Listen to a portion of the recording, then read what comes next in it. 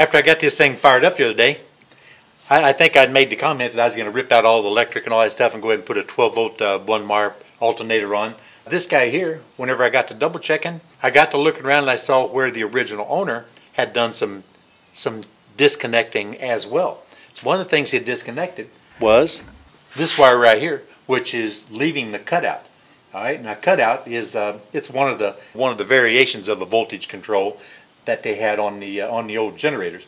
Now some of them had the a voltage regulator, and then others just had nothing more than a cutout. The generator, once it starts generating, would essentially run wild if you didn't have some kind of a control on it. So they incorporated in the light switch a little resistor and and a uh, different ways of charging by different positions of the light switch. You could pull your light switch out the first uh, the first click, and it would turn your lights on. Pull it out the second click, and it might give you a low charging rate, which would cause the cutout to once it gets to a certain level, it would cut out and stop generating.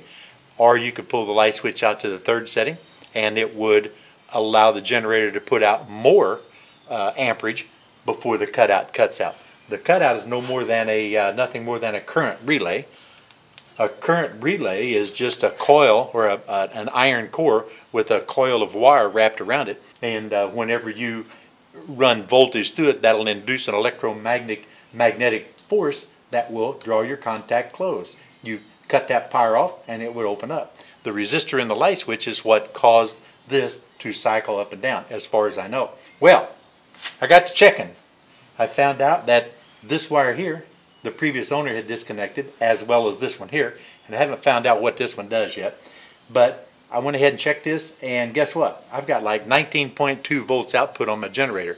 Okay, so what I'm going to do, in talking to my brother, he was telling me that, well, go ahead and check, see if this is a three brush generator. Some of them had a, a third brush, and it was adjustable. Typically, the third brush alternator was used with in conjunction with the cutout. A regular, a standard alternator, as I understand, would work with a voltage regulator. So what we're going to be able to do, I hope, is undo this screw right here, and that's going to allow that movable brush in there to rotate just a little bit, and I should be able to decrease my output voltage right here from 19.2 down around 14.6 or 7 to, to charge the battery. Then we've got to reattach this, and we have to make sure that the the um, the resistor in the light switch will control the output so we don't boil our battery dry. With no control on the output, you will literally boil your battery dry.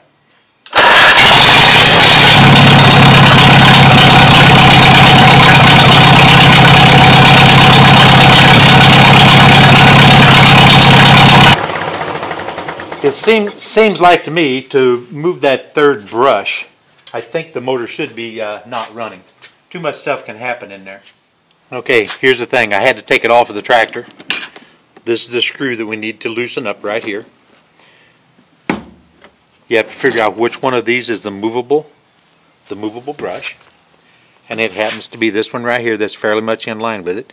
And if you see, I can slide it this way, I can slide it that way. All right, and it's changing the position that the brush comes in contact with the um, the armature.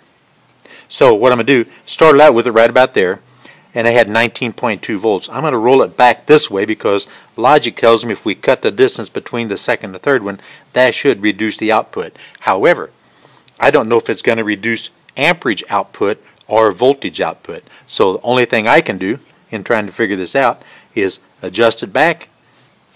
I know where it was, where it started, 19.2. Adjust it here and see if I get a voltage output difference. If so, we're good to go. If not, back to the drawing board. Well, it, it's too hard to actually get all the adjustment stuff in there on video. You have just gonna have, you're going to have to take my word for it. I loosened that up. I moved the uh, third brush all the way one direction to, to affect a great change in output if in fact it's going to make a change. And it made no change in voltage output. I don't know what it did to the amperage. Don't have an ammeter hooked up. And we don't have any load anyway. Then I went ahead, shut it back off, and then adjusted all the way the other direction as far as it would go and fired it back up. Virtually no change. I still have 20.4, 19.2, whatever on a digital meter. I don't get any change in it at all. Now this being a three brush generator is more than likely designed to be operated with a cutout and not an external voltage regulator. Chances are this is going to be a generator somebody can purchase if they'd like. I know it, it's got output. I just can't control it. And I'm not a bit smarter now than I was a minute ago. Hey, you know, you win a few, you lose a few, man. So I'm just going to bypass that step and do like I should have done to begin with, is go ahead and eliminate that and put on a uh, one wire alternator. These smaller internationals, this little H, that generator is completely held up underneath that, that sheet metal enclosure. And it's a, of a certain diameter. They're pretty much all about the same, set, about the same diameter as a, a starter, you know. But you can't use a, a standard Delco 10 SI frame or 12 SI frame or that 3125 or whatever it was I put on that Massey Harris. Um, so because the diameter is so large, some guys will just go ahead and take a sawzall or a torch and cut out the side of the sheet metal. It just looks like the devil. And you can't drop it down to tighten up the belt because of all this casting here. Here's your distributor drive casting and then your oil fill and all that stuff. So you're, you're somewhat limited. So you want to get a small diameter. And what I've come up with is I come up with another, uh, another one wire, uh, very small diameter Duralast alternator. It's internally, uh, internally regulated and self-excited and it's of a diameter that's actually smaller, physically smaller than the, the alt, the generator that's on there. So I'm going to adapt this bracket put a new belt on and mount it right up here and it's not going to interfere with the sheet metal. So that's the task. In the for what it's worth department, this is a, uh, a Model D, DL, Delta Lima George. I don't think that's right. 12180-SEN. SEN means it's a self uh, self-exciting uh, alternator. 12 volt and then there's the, uh, the, the actual number of it. It's also got a tech support line. You can contact them. It's got a couple of extra terminals on the back, and there was nothing marked on the paperwork or on the alternator, so I actually called tech support and found out that's for automotive use. One of them gets out a partial partial output voltage that you're supposed to be able to use certain types of relays and other types of electronics on the vehicle, and then the other one gives a full uh, full voltage, but it's a 4 amp maximum load. So all we're concerned about is the battery terminal right here to the positive side of the battery, and we're going to uh, negatively ground this machine too. So what I did, I took some scrap metal, put some slots in it, some horizontal slots, and some vertical slots. I'm going to weld them together like such. That's going to allow left and right movement and up and down movement. And once I get these welded in place, then I'll go ahead and trim these ends off, whatever's necessary. If you notice that's at an angle, that's at an angle that's going to allow it to hopefully pull pull upwards as it adjusts for belt belt length belt length and tension. That's what the plan is. So I'm going to go ahead and weld those guys up nice plumb and square and we'll move on.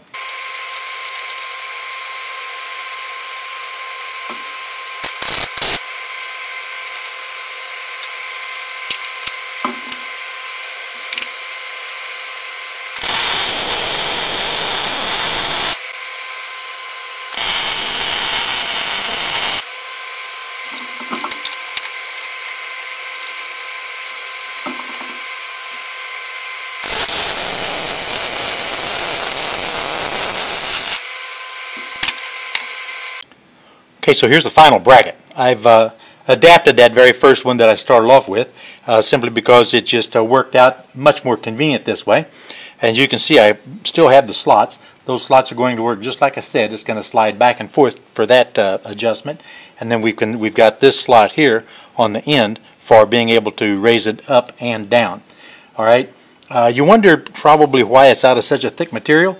Well, Two reasons. First, that's uh, what I had in stock over there in the, in the scrap pile. And secondly, I kind of suspected that I might be able to get by with a uh, one bolt mount. And to make sure uh, that I could, I decided to go ahead and make it out of this half inch scrap material instead of a, a more flimsy or easier to work with quarter inch material, which might give a little bit of flex whenever the belt tension is on.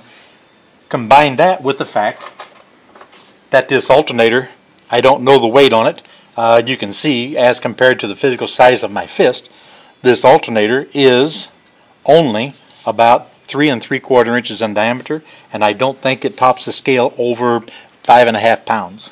So I think one bolt mount with the uh, with the tensioning bracket will be just fine. It's going to go right here. At any rate, uh, as long as the welds don't break, I think it's going to uh, I think it's going to work just fine. So that's the way she looks. Here it is, completely installed. Here's the new bracket. You can see the slots are a little bit too long, you know, but I didn't have anything to really go by. Um, I could have made those slots only a half an inch long and done it, and then taken an inch and a half off of this, but it doesn't matter. But uh, it's nice and substantial. It's a good half inch thick scrap material.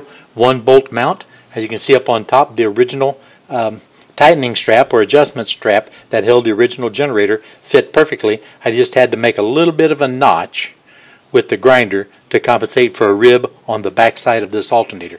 Now, if you take a look at this alternator, it's a nice, neat little guy. It's, I think it's 63 amp. I'm not sure, and it's almost exactly four inches. It's roughly three and seven eighths inch in diameter by roughly four and a half inches in length. So uh, it's actually a, a pretty nice, neat little alternator. So now I'm going to rip all the wiring out, hook up my one battery post right here, and uh, we're good to go. So there's a completed bracket. Uh, in retrospect, I should have made this an inch shorter, but yeah, no big deal. It's not a big deal. I was able to use the uh, the bracket that was on here with the original generator, and all I had to do was put this in the little milling machine and cut a slot there because I didn't have any idea how much it had to adjust.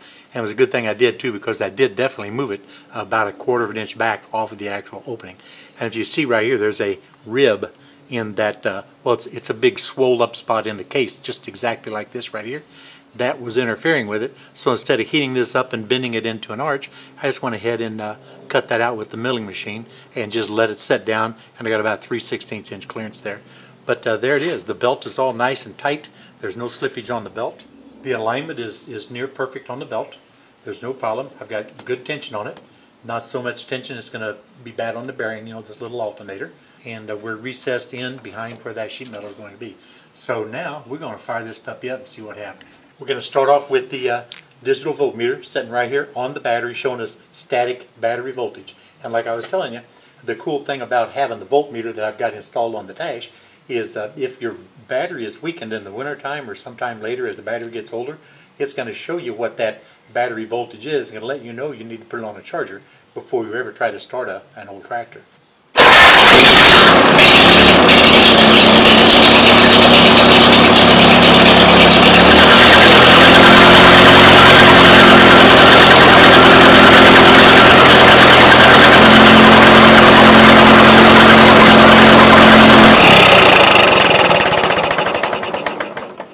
And guess what? That's what happens when you forget to turn the gas on. But that's okay. It's all in a day's work, ain't it?